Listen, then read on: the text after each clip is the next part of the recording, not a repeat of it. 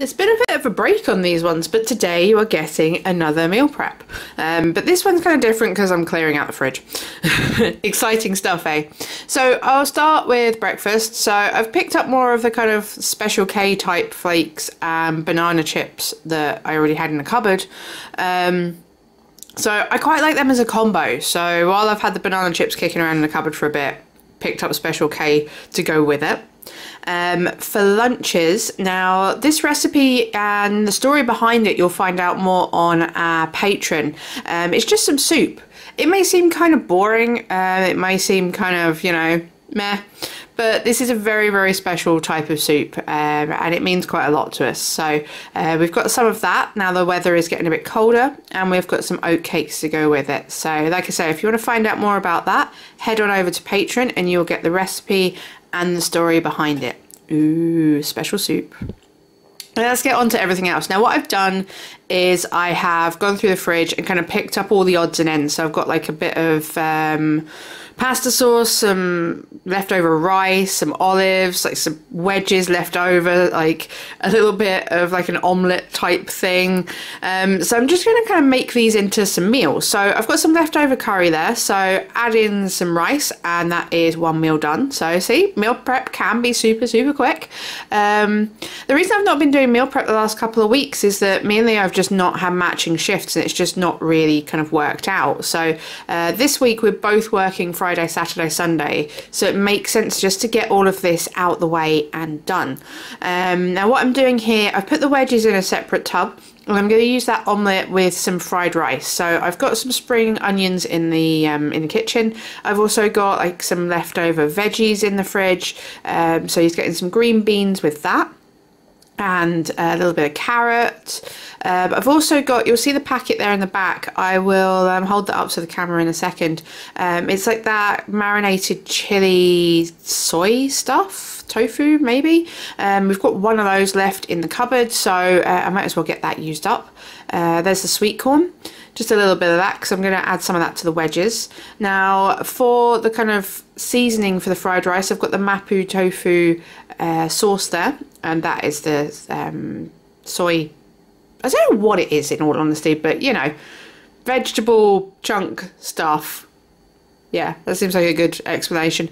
Um, and there you go, there's the rest of the rice, and that is meal two done. Um, I'll put the, it kind of flaked a bit with this, but it's because it's cold what it was, um, I made some battered tofu fish and chips, and rather than doing like a proper batter, I did like a chickpea batter. So it's kind of like an omelette. So all I did with the leftovers was cook it and just put it somewhere for a moment like this, where I could add it to some um, rice for fried rice. Sorry, my brain is really not working this morning.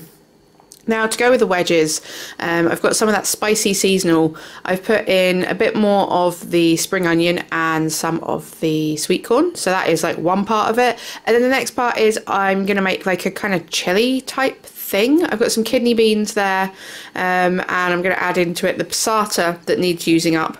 Okay, I've not used all of the um, the kidney beans there, but what I did was, uh, because this was done on Thursday, I just used the rest of the kidney beans for dinner, along with the wraps actually that kind of sat there the entire time.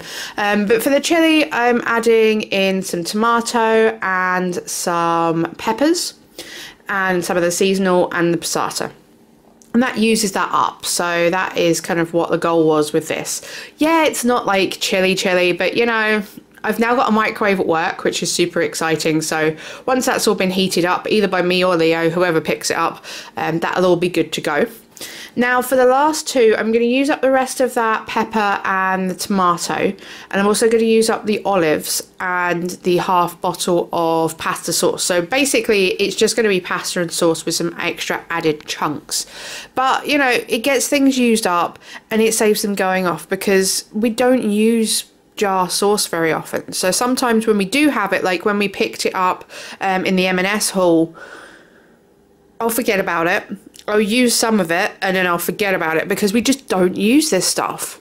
So it is kind of hard to remember that we actually have it and it nine times out of ten it does just go off and I want to avoid that. So that's why this is going to get used up here. And that's the last of the olives as well. So it's it's clearing out sorry, that's Gigi jumping in a bag behind me. Um, that's clearing out what we've got in the cupboard and making a bit more space for some fresh stuff or even just to open some stuff that's been sitting in the cupboard for a while. Um, so that's it really. I've got the special flakes and the banana chips for breakfast. We've got the oat cakes and the very special soup. Um, that is our lunch. Again, you know, good to keep mentioning this over to Patreon and you'll find out what that is all about. We've got the two lots of pasta with the uh, jarred pasta sauce. There is the wedges with the kind of mock chili type thing and the spicy corn. Um, what else have we got? The fried rice with the kind of omelette on top and the spicy sauce on the bottom. As always, I put everything on the bottom to stop it soaking into the rice and making it kind of like ugh. Same with the pasta. I always put everything on the bottom to stop it kind of going soggy. And last but not least, our leftover curry. So there it is. So I hope you've enjoyed that. Don't forget to subscribe and we will see you next time.